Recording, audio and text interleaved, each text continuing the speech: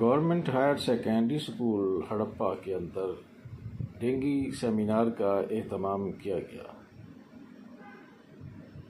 Dengue seminar میں principal school حضا شیخ ساجد صاحب کے علاوہ دیگر مقررین نے بھی اس میں خطاب کیا۔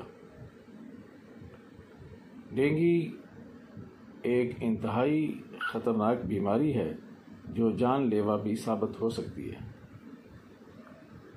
ڈینگی ایک وائرس ہے جو ماسکیٹو کے اندر ایک مادہ مچھر جس کا نام ایڈیز ہے، اس کے اندر پایا جاتا ہے۔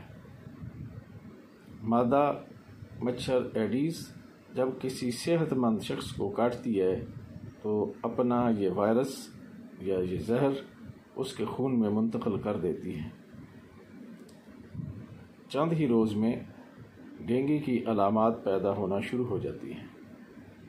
ڈینگی کی علامات میں تیز بخار، سر درد، جوڑوں کا درد، متلی کے گھبراہٹ وغیرہ شامل ہے۔ اس کا اگر بر وقت علاج نہ کیا جائے تو انسان اپنی جان سے بھی ہاتھ دھو بیٹھتا ہے۔ علاج نہ کرنے کی صورت میں اس کی علامات میں مزید اضافہ ہوتا چلا جاتا ہے۔ جسم پر سرخ رنگ کے دھبے پڑنا شروع ہو جاتے ہیں۔ پلیٹلٹس کی کمی ہونا شروع ہو جاتی ہے۔ باڈی کے اندر ڈی ہائیڈریشن ہو جاتی ہے یعنی پانی کی کمی ہو جاتی ہے۔ خون گاڑھا ہو جاتا ہے۔ بلڈ پریشر لو ہو کر انسان اس دنیا سے رخصت ہو جاتا ہے۔ بیماری کی صورت میں فوری طور پر بندے کو قریبی ہسپتال سے رابطہ کرنا چاہیے۔ غذا کے اندر جوسز کا استعمال، پانی کے اندر شہد کا استعمال،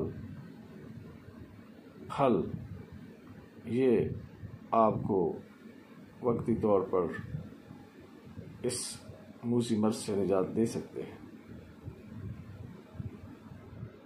انگور اس کے لیے بہت فائدہ مند ہے دودھ بہت فائدہ مند ہے۔ پانی کا استعمال کثرت سے کیا جائے۔ ایک بات یاد رکھی جائے کہ پانی ٹھنڈا نہیں ہونا چاہیے۔ ڈینگی چونکہ مچھر سے پیدا ہوتا ہے، تو مچھروں کا تدارک کرنا چاہیے۔ گھروں میں کہیں بھی پانی کھڑا نہ ہونے دیں۔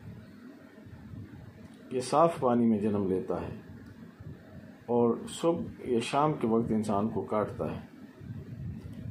اپنے ہاتھوں پہ، پاؤں پہ مچھر مار سپرے لگائیں۔